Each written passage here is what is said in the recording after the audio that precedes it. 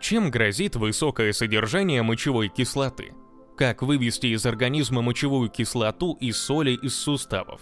Сама по себе мочевая кислота является продуктом распада белка, которая попадает в организм непосредственно вместе с пищей.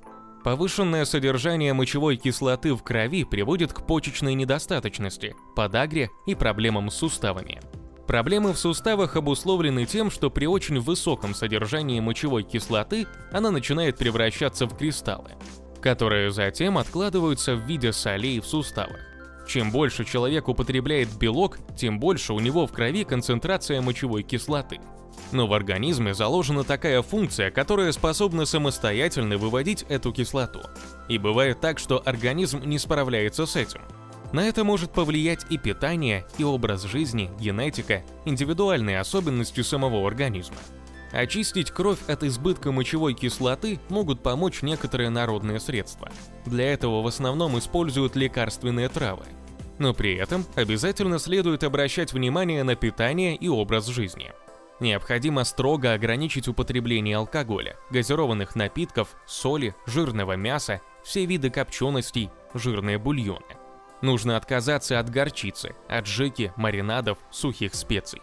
Нельзя также есть шоколад, печенье и вафли из белой муки, изделия с жирными сливочными кремами. Из доступных продуктов можно употреблять мясо птицы, курицу или индейку, но главное без кожи. Также нежирные молочные продукты – творог, сыр, кефир, молоко – не более полутора процента. Свежие овощи и фрукты обязательны к употреблению в рационе, Сборы растений можно использовать в виде отваров, чаев, настоек и травяных ванн.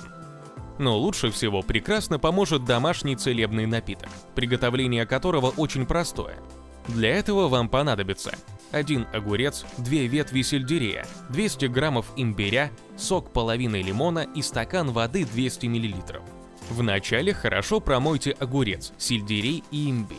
Очистите и нарежьте мелкими кусками огурец и сельдерей и поместите все ингредиенты в блендер.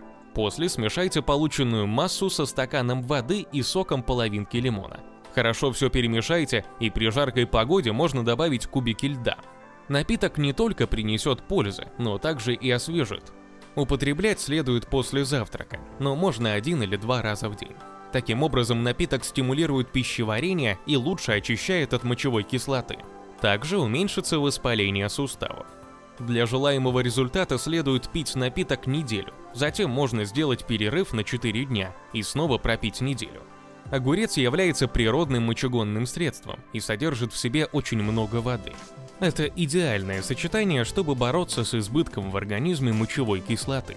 При этом он имеет приятный вкус, очень хорош как для салатов, так и для напитков. В нем очень мало жиров, и поэтому он входит почти в каждую диету.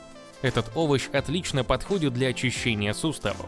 Сельдерей, в свою очередь, освежает и увлажняет организм.